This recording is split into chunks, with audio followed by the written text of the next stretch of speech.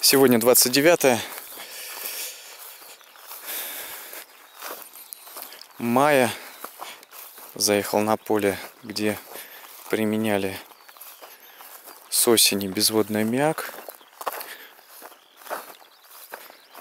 Здесь я попросил механизатора оставить участок для контроля. Ну, во всяком случае, конечно, здесь ничего не вносилось. И вносилось, чтобы понимать, что этот безводный аммиак хоть как-то работает, если бы мы ему несли а, все одним массивом, то как бы не увидели бы ни визуального, возможно, что и такого эффекта, если только там в сравнении там, с другими полями. Это понятно, конечно. А сколько вносили здесь? Мы вносили где-то 80-85 а, килограмм э, безводного аммиака. А, это уже было тут по снегу и было очень сыро, то есть это уже такая завершающая стадия. Не могу сказать, что условия были идеальные, налипало, и аммиак, конечно же, испарялся. А, уходил в атмосферу, хотя там это, скорее всего, было незначительно. Потому что все же больше происходил гидролиз. Но визуально а, все это наблюдалось. Поле в то же время я как бы пока вижу, что эффект есть.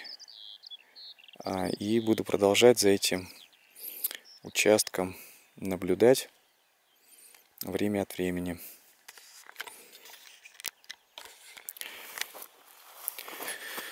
Так, растения, где не вносили безводный аммиак.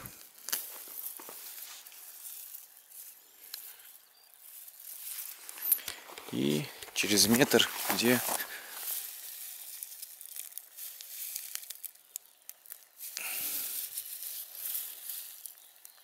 где вносили.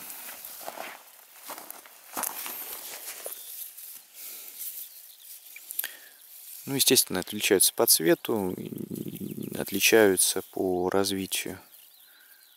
По развитию. Сейчас я более корректный.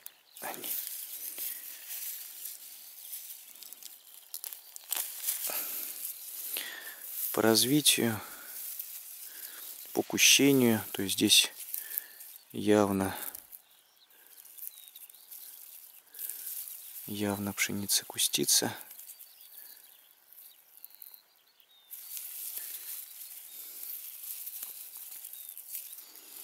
То есть отличия есть. Ну, естественно, стебель а, толще.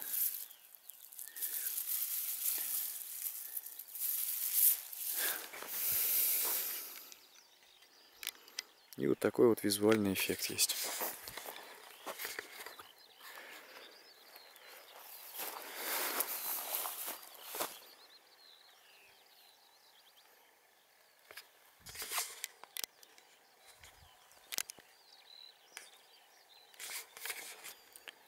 Так что вот так.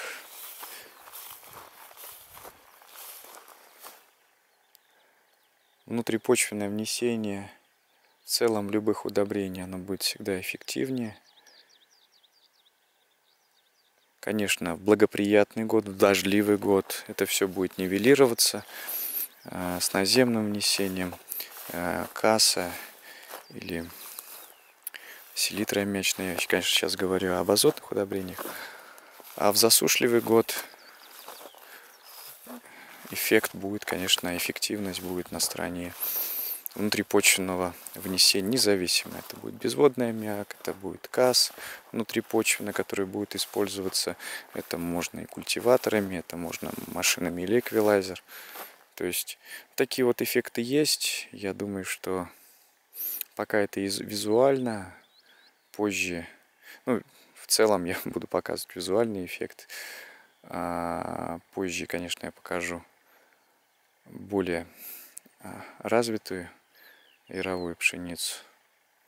Буду периодически